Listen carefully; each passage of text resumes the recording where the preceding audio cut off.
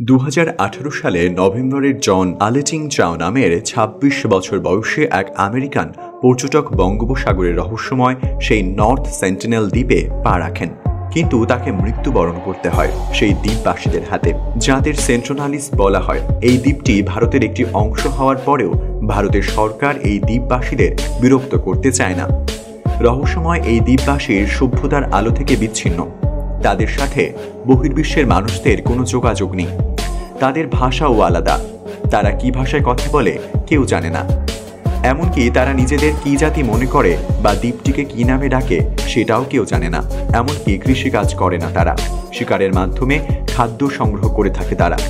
তাদের দ্বীপে বহিরাগত কেউ এলেই খুবই আক্রমণাত্মক হয়ে ওঠে তারা। দ্বীপের কাছাকাছি কোনো নৌকা বা জাহাজ দেখলেই তীর, বর্ষা, পাথর উড়িয়ে মারতে থাকে। এমনকি খুন করতেও দ্বিধা করে না তারা। তারা দ্বীপের জঙ্গল থেকে বন্যপ্রাণী শিকার করে আর উপকূলের কাছে মাছ শিকার করে। দু ধরনের ঘর আছে তাদের। দ্বীপের ভেতরের দিকে বড় কুড়ে ঘর যাতে একসাথে অনেকজন থাকে। আর কিছু ঘর আছে যেগুলি শুধুমাত্র ছাদ থাকে। দেয়াল বা বেড়া কোনো কিছুই থাকে না। উনিশশো একানব্বই সালে প্রথমবারের মতো আদমশুমারিতে তাদের সংখ্যা অন্তর্ভুক্ত করে ভারত সরকার। সেবারে আনুমানিক একশো সতেরো জনের হিসাব করা হয়েছিল। ধারণা করা হয় অন্তত তিরিশ হাজার বছর ধরে তাদের বসবাস ওখানে। তবে সভ্যতা থেকে বিচ্ছিন্ন থাকলেও গত দুশো বছরে একেবারেই যে তাদের বিশ্বের মানুষের যোগাযোগ হয়নি তা নয়।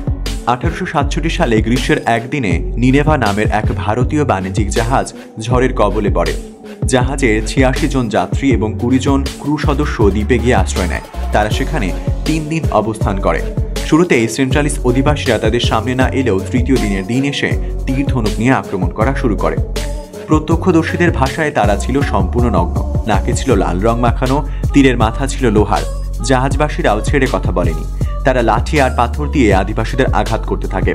শেষ পর্যন্ত ব্রিটিশ ওয়েল নেভির একটি জাহাজ এসে নিনেভা জাহাজের যাত্রী ও ক্রুদের রক্ষা করে। আঠারোশো আশি সালে ব্রিটিশ ওয়াল লেভেল তরুণ officer Maurice Vidal Portman Andaman ও নিকোবর কলোনির দায়িত্ব নেন। তিনি নিজেকে একজন নৃবিজ্ঞানী মনে করতেন। আঠারোশো সালে তিনি নর্থ সেন্টিনালে প্রবেশ করেন। তার সাথে ছিল ব্রিটিশ নৌবাহিনী অফিসারদের বিশাল বহর। তারা গিয়ে দেখেন সেখানে জনমানব শূন্য এক গ্রাম। বহিরাগতদের দেখে তারা হয়তো দ্বীপের আরও ভেতরে গিয়ে লুকিয়েছিল। সম্ভবত এক দম্পতি ও চার শিশু গ্রামবাসীদের থেকে পেছনে পড়ে গিয়েছিল। পোর্টম্যানের অভিযাত্রী দল তাদেরকে আটক করে এবং দক্ষিণ আন্দামান দ্বীপের উপনিবেশের রাজধানী পোর্ট ব্লেয়ারে নিয়ে আসে। যদিও পরবর্তীতে তাদেরকে সেই দ্বীপে ফিরিয়ে দেওয়া হয়। আঠারোশো ছিয়ানব্বই সালে আন্দামান দ্বীপে জেল থেকে এক আসামি পালিয়ে সেখানে চলে যায়। উপনিবেশীয় এক সার্চ পার্টি কিছুদিন পর তীরবিদ্ধ গলাকাটা সে আসামির লাশ খুঁজে পায় সমুদ্রে। ব্রিটিশরা এরপর সেন্ট্রালিস্টদের আর বিরক্ত না করার সিদ্ধান্ত নেয়।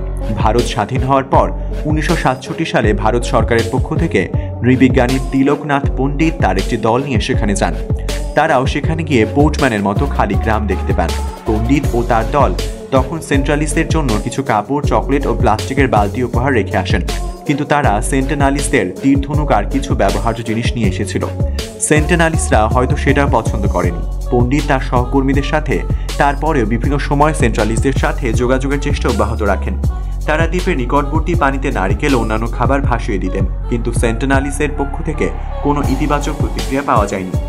একবার তাদের একটি শুকর আর পুতুল উপহার দেওয়া হয়েছিল। তারা শুকরটিকে তীরবিদ্ধ করে মেরে মাটিতে পুঁতে ফেলে এবং পুতুলটিও একই সাথে পুঁতে ফেলে। তবে ধাতব পাত্রের প্রতি আগ্রহ দেখা যায় তাদের। এছাড়া তারা ধীরে ধীরে নারিকেলের প্রতি আগ্রহী হয়। যা তাদের দ্বীপে জন্মায় না। এভাবে পঁচিশ বছর চলে যায়। সেন্ট্রালিসের সাথে কোনো সরাসরি যোগাযোগ হয় না। কিন্তু পণ্ডিত মনে করেছিলেন তারা সেন্ট্রালিসের আস্থা অর্জন করেছিলেন। পণ্ডিতের অভিযানগুলির মাঝে বিভিন্ন সময় সেন্ট্রালিসের আক্রমণের ঘটনা ঘটে।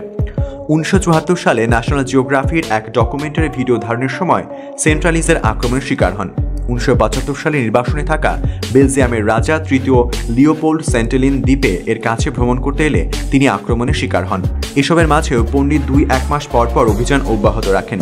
অবশেষে উনিশশো একানব্বই সালের একদিন সেন্টানালিসরা প্রথমবারের মতো অস্ত্র ছাড়া পণ্ডিতের দলের সামনে আসে। তারা এসে নৌকার কাছ থেকে নারিকেল নিয়ে যায়। এতটা কাছে এর আগে তারা কখনো আসেনি।